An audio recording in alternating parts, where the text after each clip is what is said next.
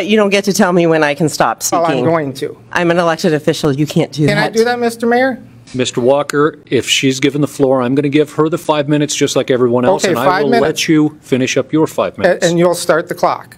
Clock is running as soon Please, as. please I don't go need ahead. five minutes. Please go ahead. So, Mr. Walker, if you're not aware, and I think a lot of people in this room are not aware and have come here just because this is a gay issue, I am proudly the first openly elected lesbian in North Dakota. So that is why I'm not paying any heed to your crap.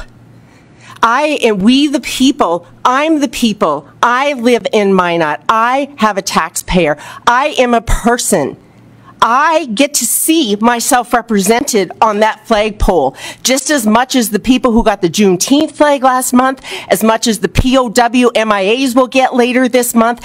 Every single person is entitled to see themselves represented. We are not some group of people who live in San Francisco or Seattle. We are here.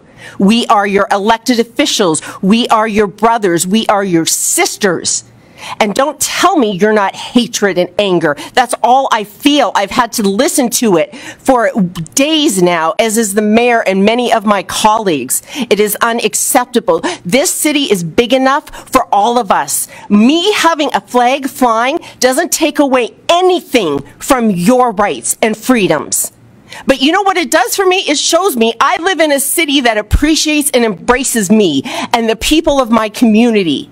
And that I can live here and feel safe. That's what it does. I'm sorry it doesn't make you feel comfortable.